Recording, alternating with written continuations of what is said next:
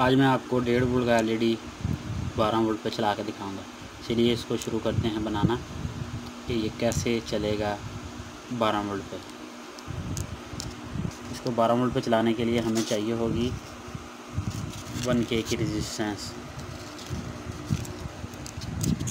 ये है वन के की रेजिस्टेंस चलिए अब इसको लगाते हैं एलईडी पे। अब हम रेजिस्टेंस को एलईडी के साथ सोल्ड कर देंगे। चलिए सोल्ड करते हैं इसको।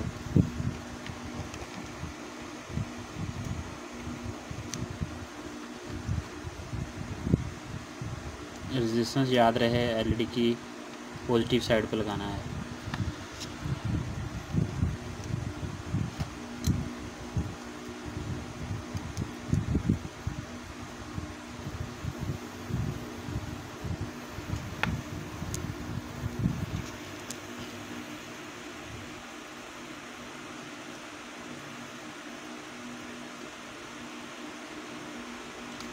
ये हमारी रेजिस्टेंस लग गई सात एल के। चलिए अब इसको टेस्ट करते हैं। ये है हमारे पास 12 वोल्ट सप्लाई हम इसको एलईडी के साथ लगाएँगे और देखेंगे एलईडी हमारा काम कर रहा है या नहीं। वाह हमारा एलईडी तो बहुत बेहतरीन काम कर रहा है। अब हम एलईडी की लाइट को बंद करके चेक करेंगे।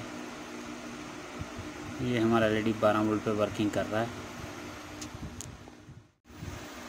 वीडियो अच्छी लगी हो तो मेरे चैनल को लाइक शेयर एंड सब्सक्राइब करना मत भूलिएगा। अल्लाह हाफिज़।